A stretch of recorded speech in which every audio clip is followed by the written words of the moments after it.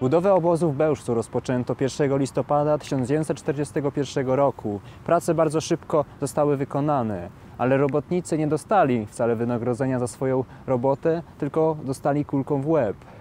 Pierwsze transporty dotarły do Bełżca 17 marca 1942 roku, a później było tylko gorzej. Transportowano ludność m.in. z dystryktu lubelskiego. Po deportacji ludności z Zamościa, Lubartowa i innych miast Niemcy zaczęli deportować Żydów z Lwowa. Do Bełżca bezpośrednio nie trafiali Żydzi, którzy mieszkali za granicą. Najpierw byli transportowani do tzw. Tak gett tranzytowych, a następnie do obozu. Byli to m.in. Austriacy, Czechosłowacy, Belgowie i Niemcy. Siedmiohektarowy obszar otoczony drutem kolczastym dzięki swojej specyficznej rzeźbie terenu skutecznie uniemożliwiał ucieczkę. Trzeba powiedzieć, że po zachodniej stronie znajdowała się rampa kolejowa. Również bardzo dużym utrudnieniem dla ludzi był wał przeciwkoczołgowy. Transport w większości odbywał się koleją, ale ludzi również transportowano furmankami i pędzono piechotą. Tych ostatnich najczęściej z okolicznych wsi.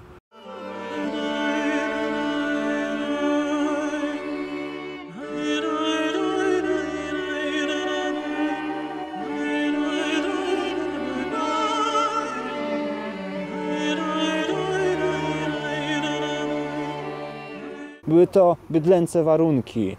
Najgorsze były w lecie 1942 roku.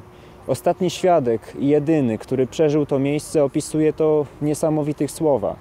Podczas przystanków gestapowcy schodzili z dachów i nie dopuszczali nikogo do pociągu. Jechaliśmy dalej. Nikt nie odzywał się ani słowem.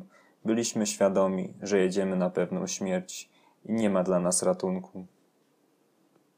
Po przybyciu do obozu ludzi bardzo brutalnie i szybko selekcjonowano.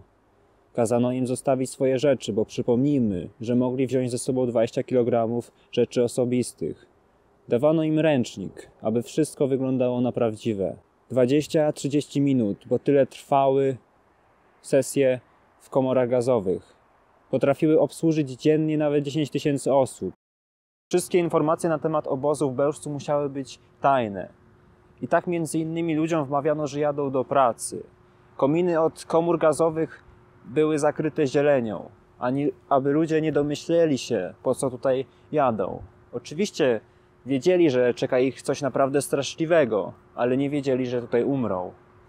Jeszcze jedna rzecz, która jest bardzo ciekawa i warta powiedzenia. Wszyscy komendanci, nie tylko komendanci w Bełżcu, ale również w Auschwitz, musieli podpisać w umowie fragment, który nakazywał im zachować tajemnicę. W tym miejscu zginęło 550 tysięcy osób, więc ponad pół miliona. Zginęły również osoby pochodzenia polskiego, bo 1200 Polaków, którzy najprawdopodobniej pomagali Żydom.